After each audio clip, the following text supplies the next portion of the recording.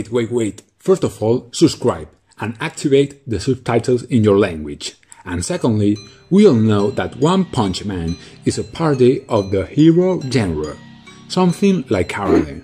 The premise of One Punch Man is simple. Saitama is the strongest.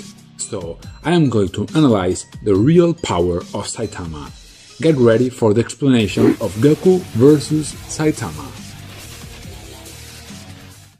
Let's be direct. Both Goku and Saitama will be the winners in their respective universes. If a version of Goku appeared in the Saitama universe, then most likely Saitama will be the winner.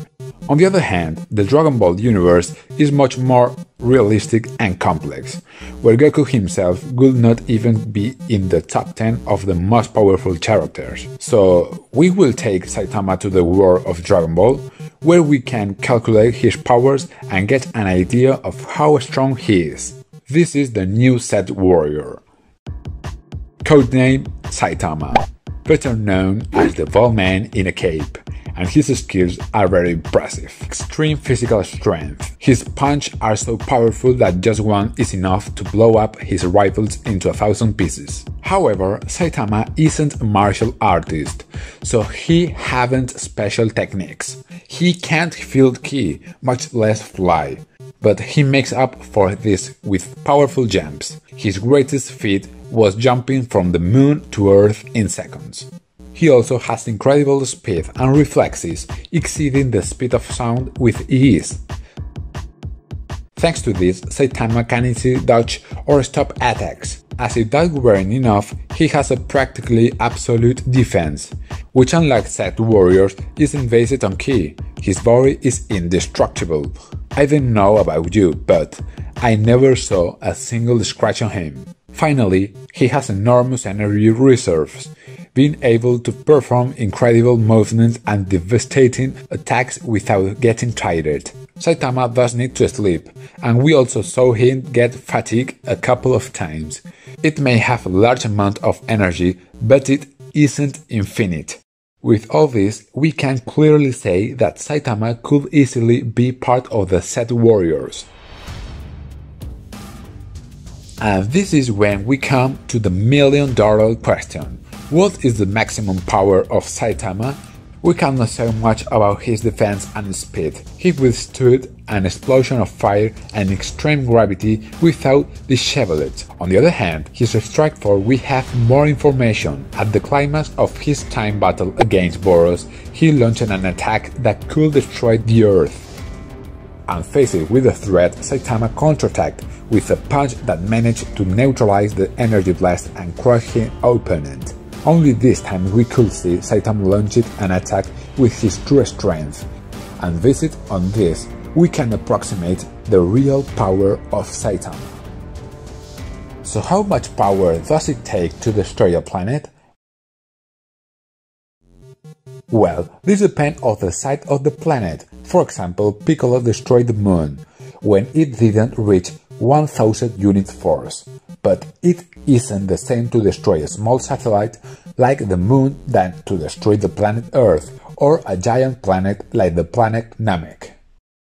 So we can say that in Dragon Ball there are three types of the planetary destruction. The first is to destabilize the core. For that is enough to launch an attack that directly impacts the core of the planet. This will start with a chain of reaction and will end with the explosion of the core itself and destroy the planet. An example is when Freezer launched his attack against Namek. The energy wasn't powerful enough to destroy the planet, but it started a chain reaction that ended up making it explode. The second type of planetary destruction is massive destruction. In this case, the core will not be affected, but the attack alone is enough to destroy the planet. The best example would be when Cell, after being defeated, inflated like a balloon, to cause an explosion so powerful that it will destroy the planet instantly. Finally, we have planetary destruction by disintegration. In this case, the planet is victim of a large amount of energy, so powerful that it simply disintegrates. So which of these forms of planetary destruction could Lord Boros perform? At first glance, I would say the first, but let's make things interesting.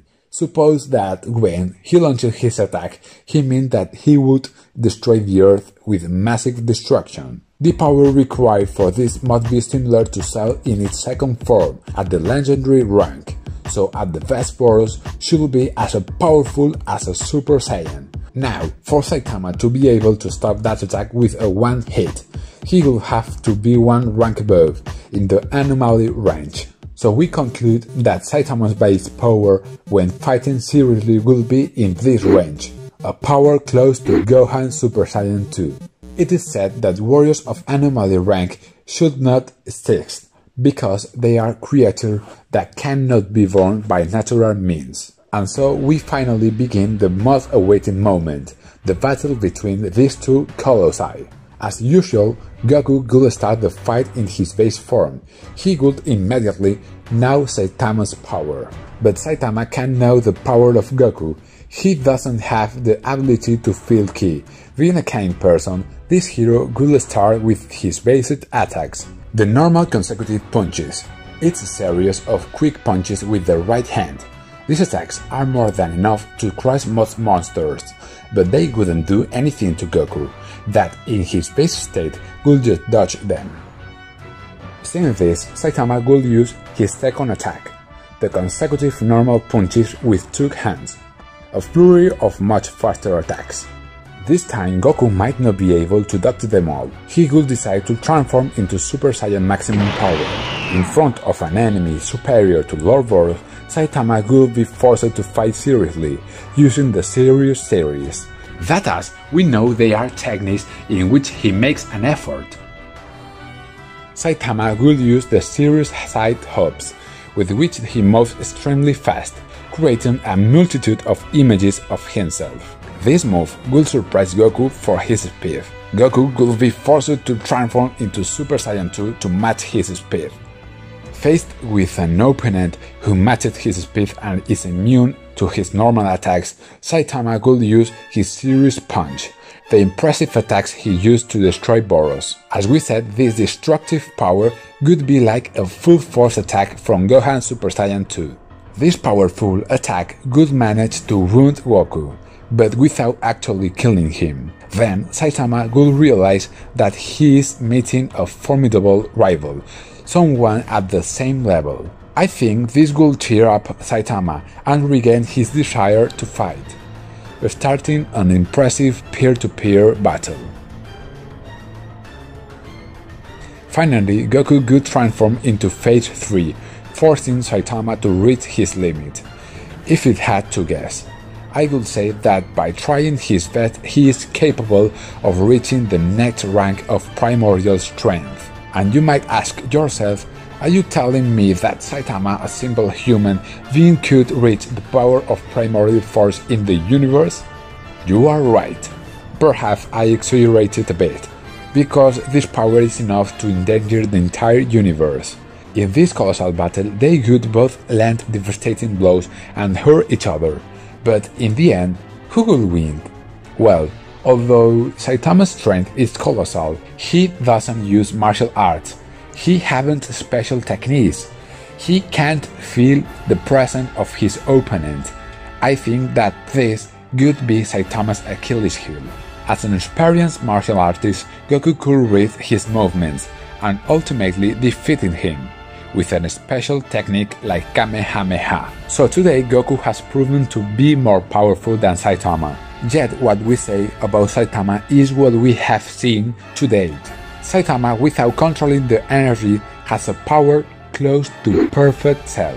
Can you imagine how powerful it would be if he did train at the level of Goku? If you liked this video, subscribe and give me a like. See you soon in more power levels videos. Bye bye.